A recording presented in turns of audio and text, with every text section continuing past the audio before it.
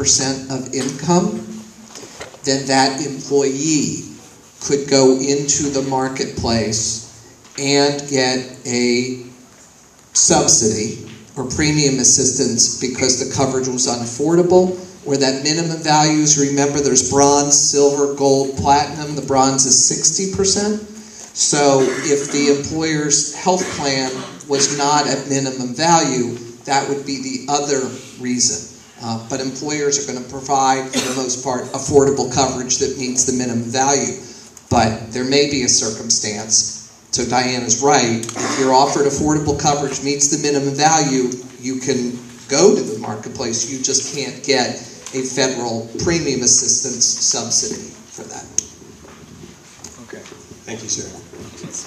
This brings us to our time limit on the Q&A session, and I am so hopeful listening to the variety and so many questions that we can ask in our country